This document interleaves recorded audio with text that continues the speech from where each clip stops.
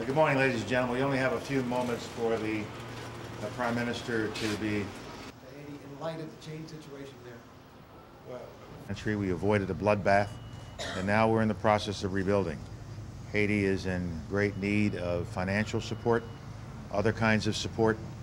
We are working to get peacekeepers into the country under a UN resolution, and I said to the Prime Minister that he can count on U.S. support.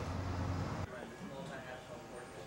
Do you think uh, that uh, your government and President uh, Boniface Alexandre asked me to stand his best. We do uh, appreciate the cooperation we are getting from the United States government. And while here, I will see the World Bank, the Inter-American Development Bank, IMF, and also the member of Congress for the HERO Act to see how we can help creating more jobs into the country because the roots of the problem in Haiti, it is unemployment. And what makes you so sure that it's isolated?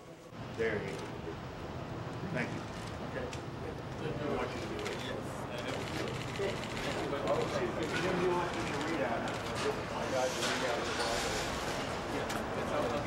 Thank you very much.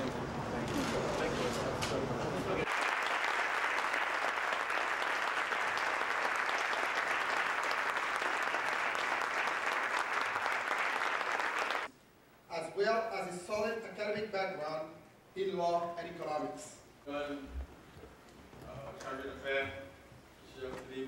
No, so what we're trying to do during the interim government, it is to make the case how good governance could help the country change completely its orientation.